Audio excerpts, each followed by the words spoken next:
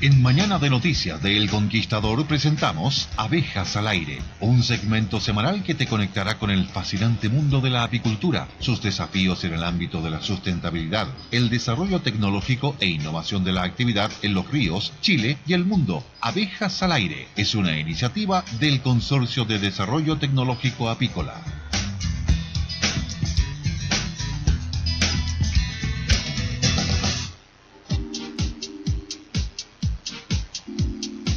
Ya, estamos partiendo este programa hoy eh, día jueves, jueves 13. Sí. Oye, pero mal con la fecha, Hola, ¿cómo está Ricardo? Bien, pues estamos con un nuevo capítulo de Abejas al Aire. Eh, hoy vamos a hablar sobre los beneficios de la miel para la salud familiar, ¿no? Sí. Tenemos invitada. Tenemos una invitada súper especial, que rico presentarla. Es una persona muy querida por mí. Eh, fue mi profesora en la universidad cuando yo estudié agronomía y he tenido la fortuna de trabajar con ella ya por varios años. Ella es químico, es ingeniero comercial. Mira qué entretenida la mezcla. Químico, ingeniero comercial. Hasta el 2017 fue jefe del laboratorio de fitoquímica de la Facultad de Ciencias Agrarias de la Universidad Austral. Tiene 20 años de experiencia en apicultura y analítica de calidad e inocuidad de alimentos. Creó el Banco de Mieles y Ceras de Chile, en el cual realizó múltiples estudios durante 15 años.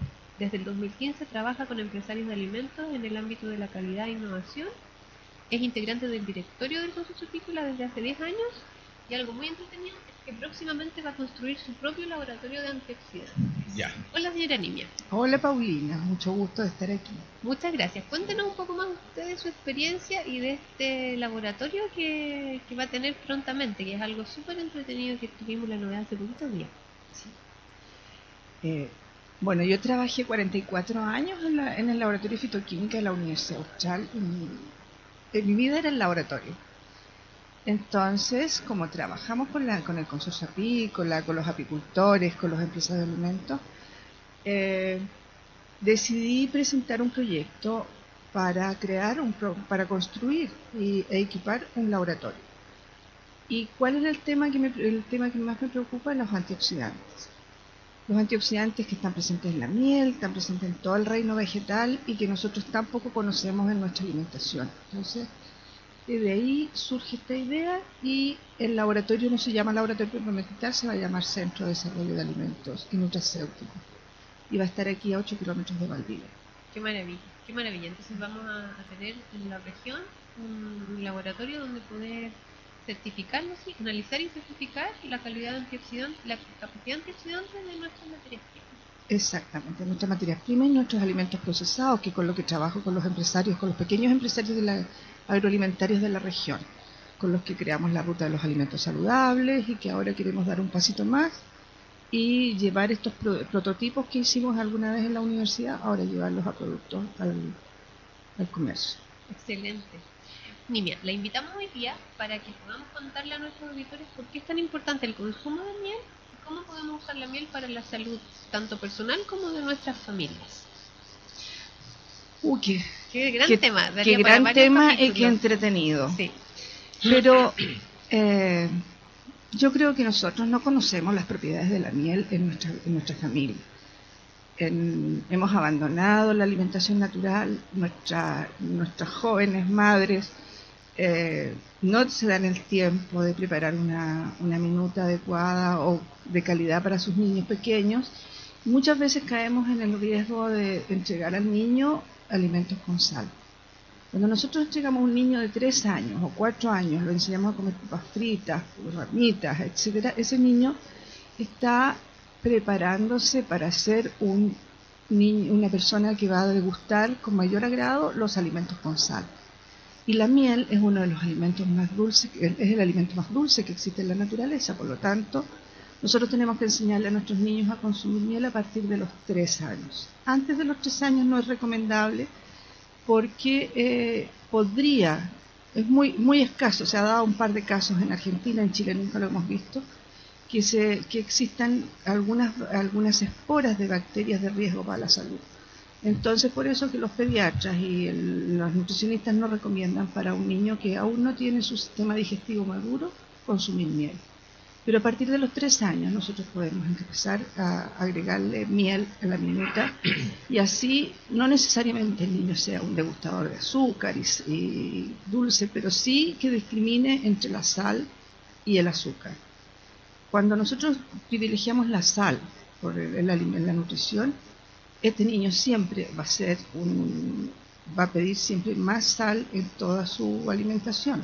Así que ese es un primer punto. Y de ahí viene nuestro escaso consumo de miel a nivel nacional. Nosotros desde hace, yo diría desde siempre, no consumimos más de 100 gramos de miel por habitante al año.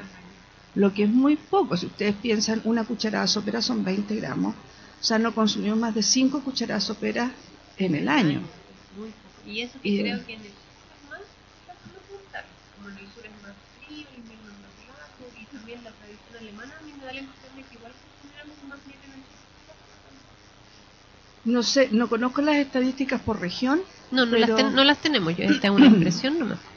Pero yo creo que sí, por, por nuestra nuestra herencia alemana, o sea, nuestra nuestra herencia, no, personalmente no tengo herencia alemana, pero por la, la colonización alemana en la región. En Alemania es uno de los países que más miel consume, entonces esta, esto... ¿Ellos comen varios kilos? Ellos consumen alrededor de 3.500 gramos por habitante al año. Imagínate, o sea, kilos y medio. En promedio. Mm. En promedio nosotros consumimos 100 gramos en promedio. Y esos 100 gramos hace poquito que llegamos a los 100 y antes eran 80. Entonces, yo creo que nuestras, nuestras jóvenes no conocen el gran potencial que tiene la miel en la nutrición. En, una, en un envase de miel tenemos un 80% que está más, aproximadamente un 80% está distribuido entre carbohidratos, carbohidratos libres, que tenemos la glucosa principalmente y la fructosa y una serie de otros carbohidratos propios del néctar. Después tenemos un 18% de agua y en el 2% restante es donde está todo lo más interesante sí, también. Es increíble eso, sí. Es increíble. Nosotros en los estudios que ha desarrollado el consorcio apícola ahora, eh, últimamente hemos constatado que la miel del bosque valdiviano, a pesar de que se dice o nosotros eh, se conoce en el mundo la miel de Ulmo como una de las mieles perfectas del mundo, nosotros no, la, disfrutamos ni la, ni la hemos apreciado. Una miel perfecta se, se clasifica como tal cuando es capaz de retener el aroma de la flor, lo que usted cuando abre un, un envase de miel de Ulmo, la, la, la habitación se impregna el aroma de la flor. Sí Además tiene un color ámbar, ámbar claro, que las mieles de árboles son muy difíciles que tengan ese color. Normalmente esas son mieles arbustivas o de, de, hierbas. Y el cristaliza como una crema. Cuando nosotros estamos frente a un pote de miel de ulmo, nosotros vamos a untar un pan igual que si fuera una mantequilla. Ahora, si usted ve que le entregan miel de ulmo, que está comprando miel de ulmo y adentro es una piedra, eso no es miel de ulmo. Ahí, hay un problema. La miel de ulmo nunca cristaliza tan dura como otra miel multifloral, por ejemplo. No, y no solo la miel de ulmo, también tenemos las otras mieles del bosque valdiviano. Tenemos la miel de fiaca, que tiene otro sabor un poco menos dulce que la miel de ulmo. La miel de ulmo es una de las mieles más dulces que tenemos en Chile. Pero también tiene una acidez especial, yo siento, como que te queda una acidez en, la, el paladar. Tiene un buque, como dicen hoy día los los, catadores. sí, hoy día hay un tema, todo un tema, igual como era la miel, hay muchos, ah. eh, estas personas sommelier de vino que están viendo hacia también ah. a catar miel y, e incluso ellos ya están, están hablando del terroir de la miel. O sea, hay todo un estudio canadiense donde se habla del terroir de la miel de Ulm. ¿Y, qué podríamos hacer, señora Nimia, para poder cambiar nuestra, hacer un clic, sobre todo en el tema de los niños? Habría que entregárselo, no sé, no directamente la miel, sino que como, lo, como se está haciendo en otros productos, a través de, chocolate, no sé, a través de alguna... En alimentos, en pues alimentos, sí. o sea, o sea ir agregándolo para que se vaya acostumbrando la persona y lo pueda consumir en forma diferente, que no se dé cuenta, un ejemplo. Pero cocinar, ¿usted sugiere cocinar con miel o, cómo dársela a los niños de pequeños? Yo creo que el niño, más que nada, hay que darle el, enseñarlo a consumir cosas con más dulces que saladas, o sea, ver que la dieta esté más mm. equilibrada hacia dulce, por ejemplo, las frutas dulces, o sea, que la aprenda a degustar el, el dulzor de los productos. El dulce bueno, sí. El dulce, natural. Dulce natural. Y ahí ir intercalando la, la, miel en diferentes tipos de postres. El caramelo que consumen tanto los niños. El caramelo. Pero ni tanto, los niños mm. ya no consumen tanto caramelo. O sea, uno cuando o sea, con esto de las etiquetas negras ya están prohibidos los pues caramelos en los, de los colegios. La, la miel, desgraciadamente, cuando nosotros incorporamos miel en algún producto, siempre va a tener si nos superamos el 5% va a tener una etiqueta negra. O sea, mm. un caramelo con miel va a tener una etiqueta mm. negra. Ah, Pero la gran diferencia que tenemos ahí es que cuando nosotros tenemos glucosa y fructosa en nuestro azúcar de mesa, nuestra azúcar blanca es glucosa y fructosa que está unida por un enlace. Nosotros necesitamos, como, como animales que somos, necesitamos romper ese enlace para liberar la glucosa que es la que nos proporciona la energía. Claro. En cambio, en la miel, esta, la glucosa y la fructosa están libres. Nosotros no tenemos que romper ni tenemos que usar esa enzima para, para eso que en nuestro organismo bioquímico se ocupa para muchas otras cosas también.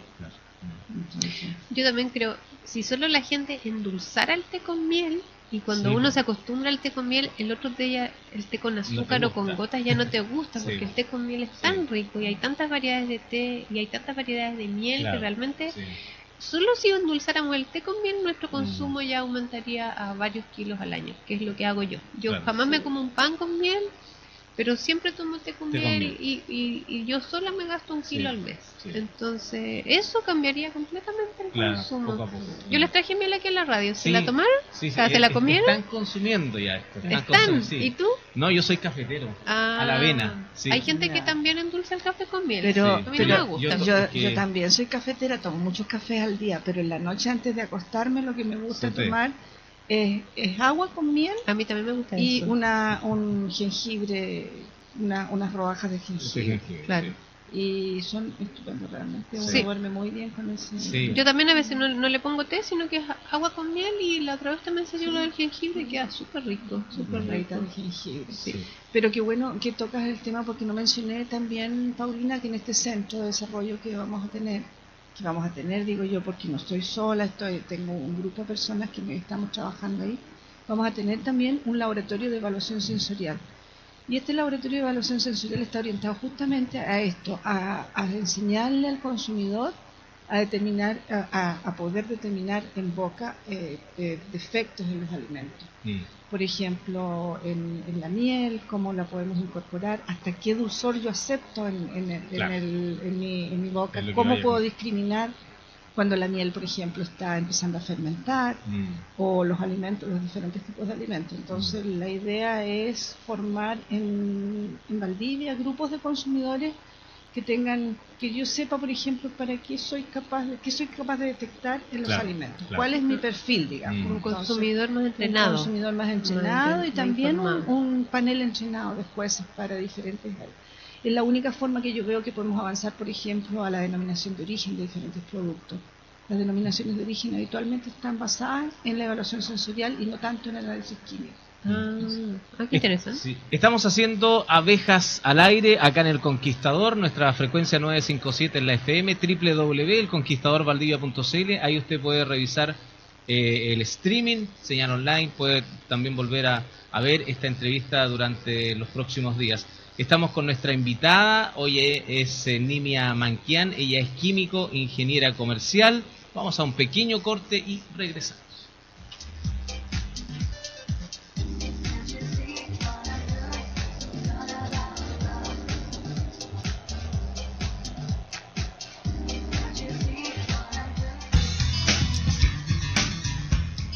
El Consorcio de Desarrollo Tecnológico Apícola está presentando Abejas al Aire, conociendo todo sobre la apicultura en nuestra región, en Chile y en el resto del mundo.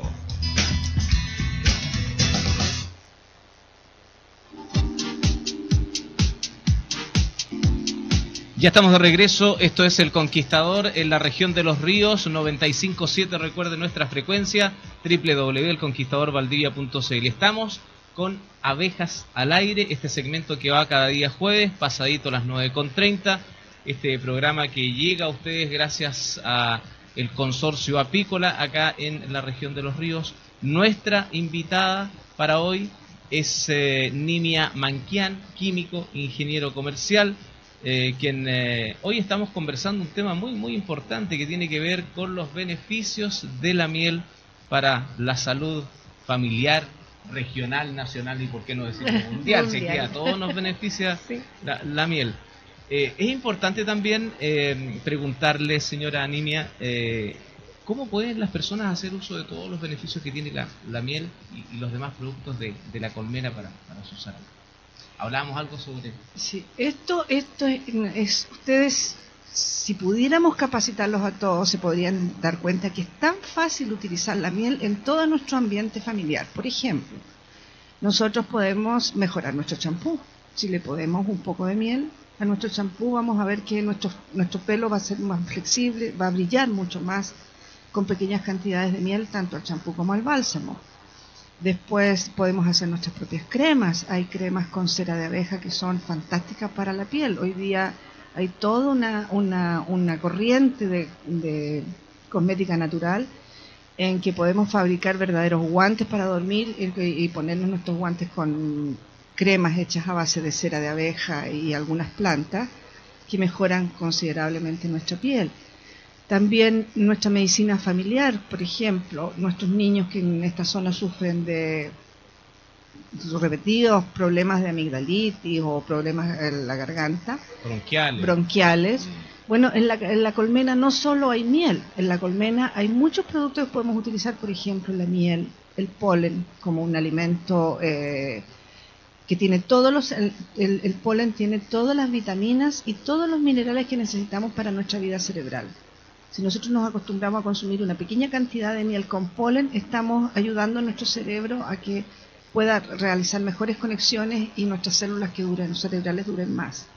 Después tenemos el, el propóleo. El propóleo es algo un poquito desconocido porque no todas las abejas lo, son capaces de, sintetizarlo pero es un antiséptico natural poderosísimo. Por ejemplo, si podemos hacer un jarabe entre miel y propóleo para nuestros niños que sufren de amiloiditis a repetición, vamos a ver que estos niños poco a poco empiezan a, mejorar y ya no se van, estos cuadros no se repiten tan a menudo. Usted me contó que había salvado varios niños de que lo cuando yo trabajé, cuando yo trabajé en la universidad había muchos papás que llegaban a pedirme ayuda para hacer jarabes para niños que estaban a punto de ser operados de amigdalitis. Mm y preparábamos un, normalmente hacíamos un kilo de miel con polen y propóleos y le dábamos al niño a libre disposición, que se lo tomara cuando quisiera. Y normalmente los papás decían que en dos semanas el niño se consumía este, este, este alimento y poco a poco, el segundo o tercera dosis, ya no se presentó nunca más la amigdalitis en casos hasta, hasta adultos. Entonces,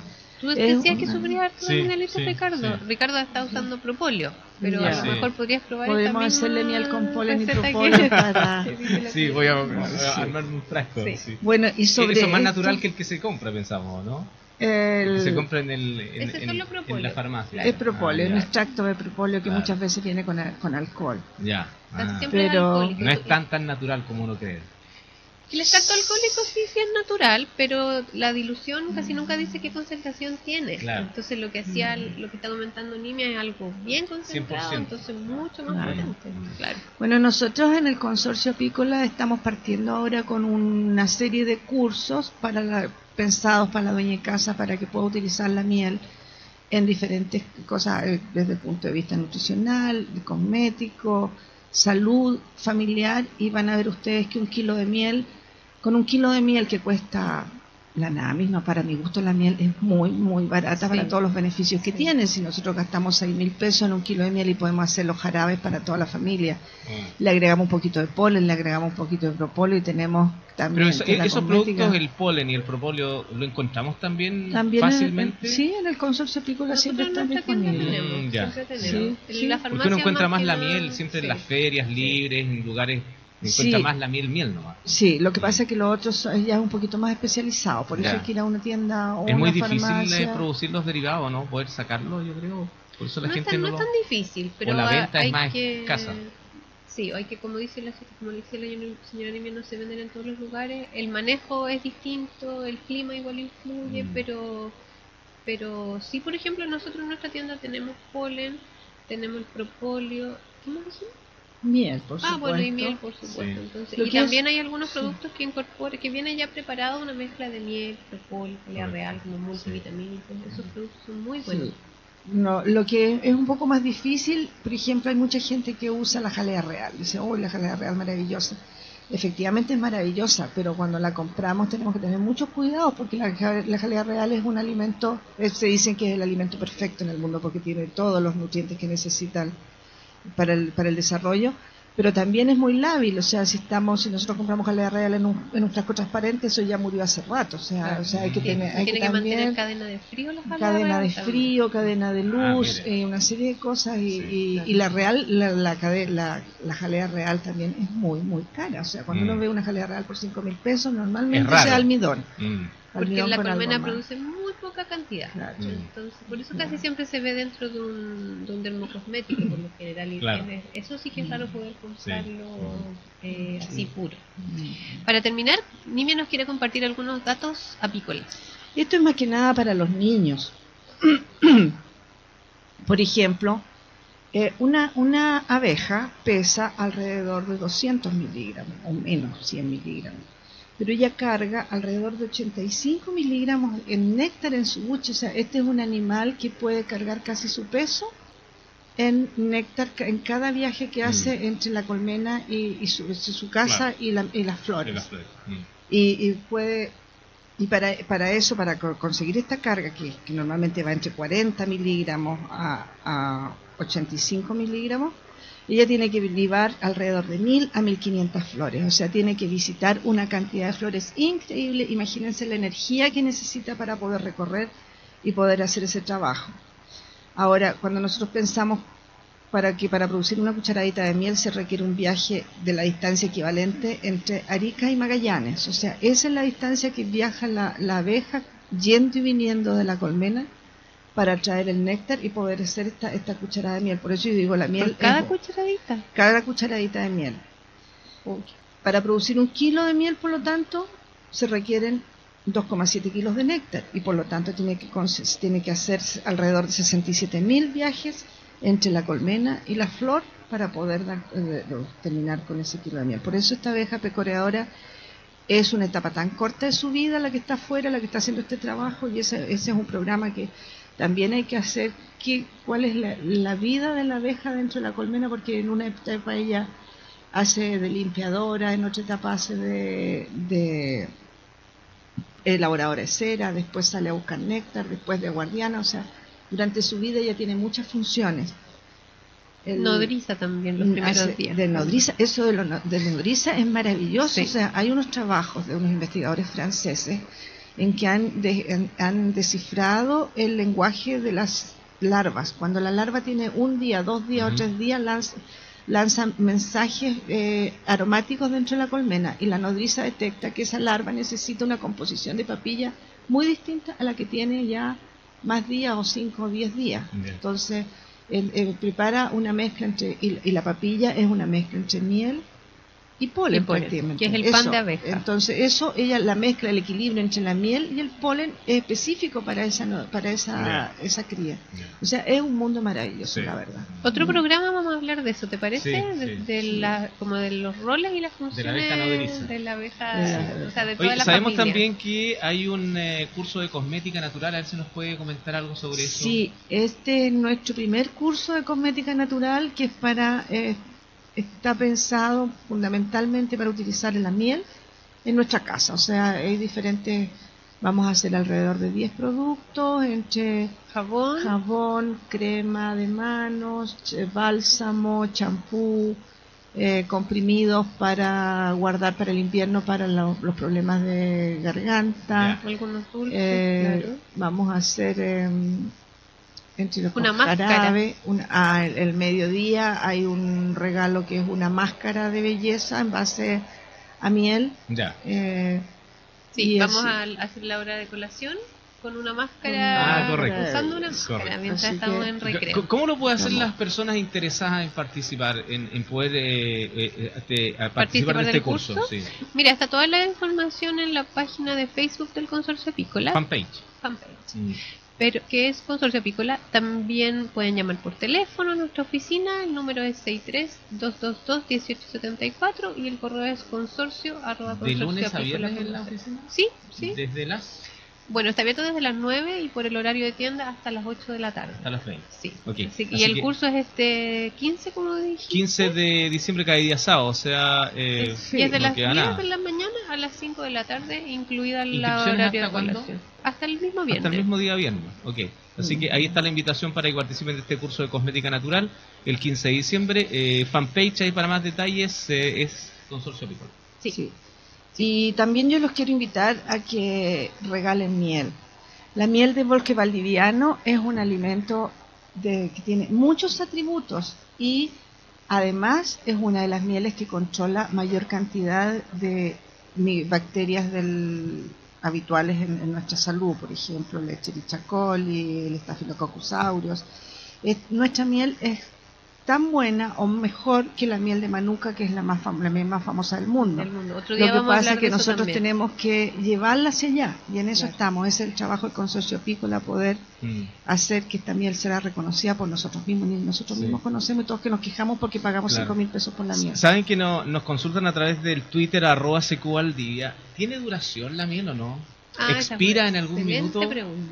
Sí, la miel eh, desde el punto de vista eh, como digamos la miel, el producto vivo, porque lo que pasa es que en la miel nosotros tenemos eh, azúcares y tenemos una serie de nutrientes, desde el punto de vista nutricional no expira.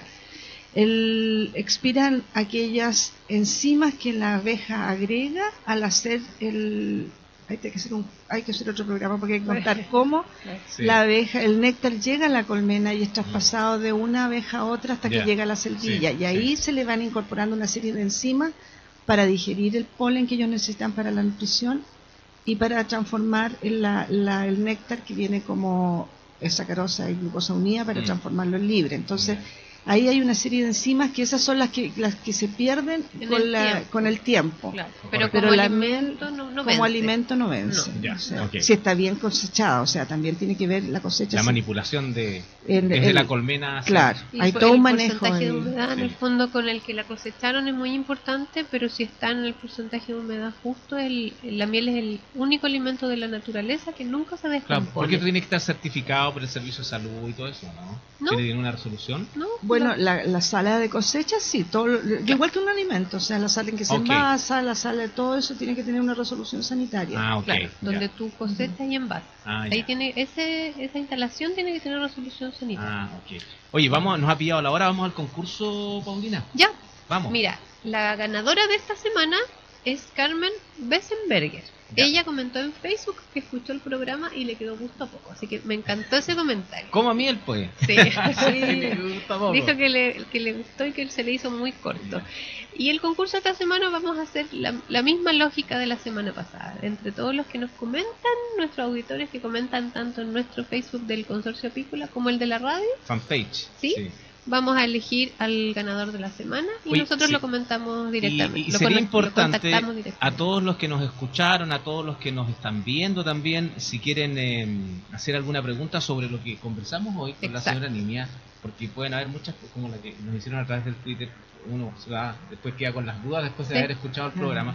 Eh, si nos hacen llegar y nosotros se las podemos volver a invitar en alguna oportunidad para que ella nos pueda responder, eh, juntamos las preguntas y las respondemos. La idea es que haya un feedback ahí con, la comunidad que nos escucha y nos ve. De todas maneras, de todas maneras, yo creo que Nimia de todas maneras la vamos a seguir invitando porque realmente tenemos muchas más, cosas que hablar con ella. Uno que tiene que ver el tema de, de la expiración, de por qué no eh, este producto es eterno y lo otro de, la, de las abejas. Las castas de abejas, la familia, cómo se organiza. Ese, ese va a ser un programa súper entretenido. De la abeja es nodriza, después pecoreadora. Lo sé por, por eh, añadidura, pero no es mi tema. No soy especialista dentro de la colmena. Yo soy especialista en los productos que salen de la colmena. Bueno, ahí está la invitación entonces, ¿ah? eh, Paulina. Eh, comenzamos a despedir el programa. Recuerden comentar todo a través del fanpage Consorcio Apícola, ahí lo puede revisar, ahí también eh, se cuelga el, programa sí. eh, para que lo pueda volver a ver durante los próximos días. Agradecemos a Nimia Manquian, eh, quien es químico, ingeniero comercial, nos habló algo sobre eh, los beneficios de, de, la miel para la salud familiar, también hizo la invitación para este día sábado 15 hay un curso ahí de cosmética natural, usted tiene que inscribirse si quiere conocer más detalles a través de la misma fanpage Consorcio Apícola hasta el día viernes 14 las inscripciones porque el 15 comienza muy temprano este, este taller. Así que, muchas, gracias. Gracias, gracias Gracias a ustedes por escucharnos gracias. Espero que aumentemos el consumo de miel y regalemos miel en esta Navidad. El Consorcio Pícola dispone la miel de bosque valdiviano. ¡Oye, qué buen regalo! Es buen regalo. Regale miel. regale miel, sí. regale vida. Es un bonito regalo. En dulce eh, el, el, año nuevo. ¿ah? Y eso que no tocamos, la importancia de las abejas en la polinización, o sea, también tenemos ahí un, tema. Siempre aprendemos algo nuevo en abejas al aire. Sí, te dije que te voy a hacer una prueba en un futuro programa, a ver cuánto has aprendido. De... muchas gracias. Saludos a todos. Gracias. Nos vemos entonces, hacemos la pausa, regresamos con más Mañana de Noticias. Somos el Conquistador acá en la región de los Ríos.